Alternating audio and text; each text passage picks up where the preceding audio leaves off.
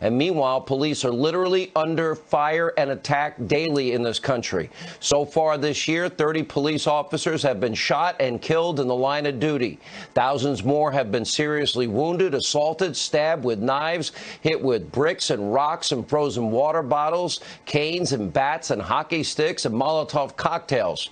Members of Biden's campaign donated to a fund dedicated to bailing these violent offenders out of jail, which, by the way, if he becomes president, there will be no bail, just like they have no bail in New York.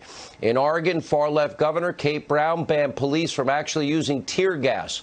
Same thing in Seattle. We saw the Seattle mayor make that dumb decision. And Portland's incredibly dumb mayor, Ted Wheeler, prevented police from dispersing rioters and arresting arsonists. Under his watch, a federal courthouse was attacked, lit on fire for weeks on end until the president was sent sent people in, troops in to protect those federal buildings. Over the weekend in Portland, one apparent Trump supporter was shot by a self-proclaimed member of Antifa. That city has experienced nearly 100 straight nights of violent riots. Meanwhile, for weeks in Seattle, a prominent neighborhood was held hostage by a group of far left rioters. City officials forced the police to totally abandon their local precinct.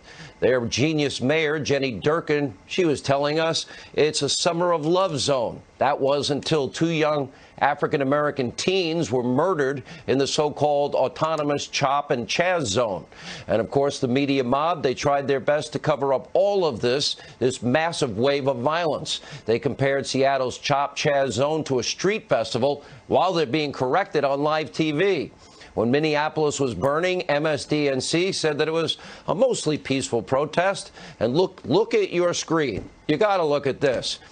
You can't make this up. Fake news CNN referring to the carnage in Kenosha, Wisconsin. Look at what the bottom third says fiery but mostly peaceful. Take a good look at that picture. Fake news CNN wonders why people chant CNN sucks. Now, of course, they weren't the only ones running cover for an angry far left mob. Take a look for yourself.